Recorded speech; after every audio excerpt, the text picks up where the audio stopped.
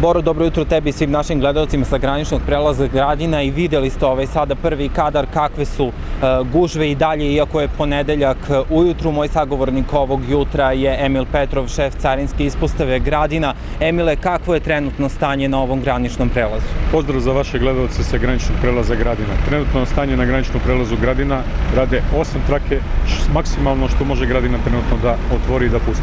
Koliko se čeka trenutno na prelazu? Danas se čeka oko 40 minuta, nije, nije, nije veliko čekanje danas, ali a, međuprostor je pun, tako da će kod bugarske strane da se čeka najvjerojatnije još sat, sat i po.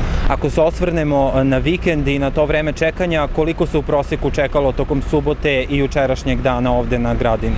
Za vikend je preko graničnog prelaza Gradina izašlo 110.000 putnika, 34.000 vozila, čekalo se od 60 do 80 minuta.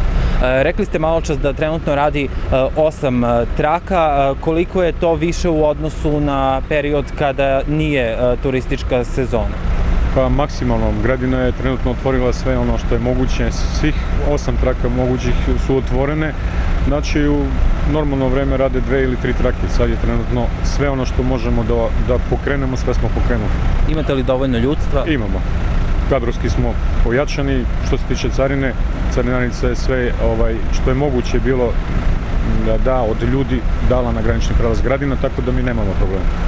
E, Kada govorimo o samom graničnom prelazu, veliko je opterećenje tokom turističke e, sezone i tokom vikenda smo mogli da čujemo kolike su bile gužve na e, svim graničnim prelazima. Šta poručujete putnicima koji kreću na put? Je li strpljenje negde osnova kada se dođe do graničnog prelaza? Pa, trenutno praksa pokazala da je sreda ili četvrtak rano ujutro period kad je najmanje granični prelaz Gradina opterećen putnicima i vozilima, tako da im preporučujem ako ikako mogu u to vreme da krenu na put, a sve ostalo se podrazumeva, nema drugog alternativnog pravca, eventualno strpljenje nema drugih. E, ono što bi svi putnici trebali da znaju što e, iz naše zemlje, što iz inostranstva koji prolaze e, kroz Srbiju, jeste da je dozvoljen iznos novca koji mogu po putniku da iznesu iz zemlje 10.000 evra. Šta se dešava ukoliko ne prijave veću sumu novca od ove? Pa ako ne prijave preko 10.000 evra, a, onda krene carinski proces, oduzimamo sve iznad 10.000 evra i pravimo devizni prekršaj. Kada mogu oni da, da prijave taj novac? Kada stignu na granični prelaz? Strani državljani mogu da prijave sve iznad 10.000 evra na graničnom prelazu na ulazu u Srbiju. Da su 3 miliona, da su 5 miliona, sav novac moraju da prijave. Sve preko toga se oduzima na izlazu iz zemlje. Hvala vam mnogo na ovom razgovoru. Hvala vama, Petar.